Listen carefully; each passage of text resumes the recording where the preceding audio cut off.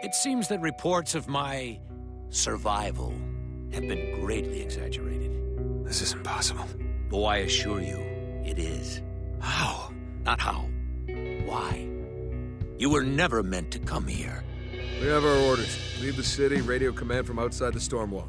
They send in the cavalry, we go home. Hello there, Seraphim17 once again. This is my Spec Ops The Line, Fubar video walkthrough. This is the second part to Chapter 10, it's called Stealing Water.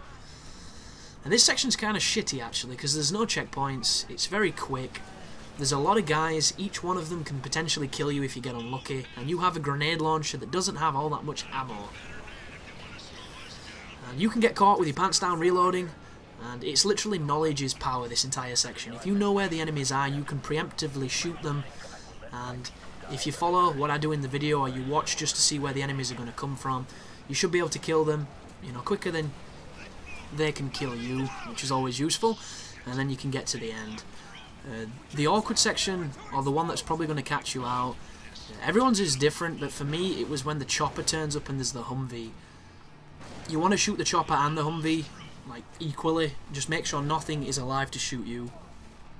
Like this section here, spam the grenades, kill them on the spawns, just make sure everyone is on the back as quickly as you can.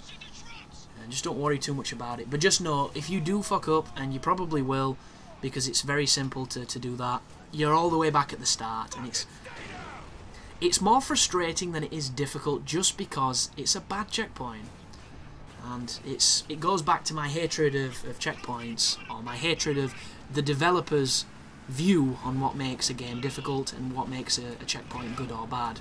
But kill the Humvee kill the the helicopter and then kill the second Humvee. Once you've done that everything goes to hell in a handbasket.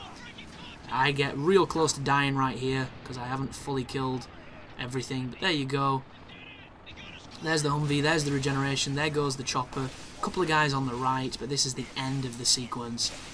So, more luck than skill and knowledge of enemy placements, but you shouldn't be stuck here too long and hopefully you'll have no issue whatsoever. But thank you for watching, and you take care now.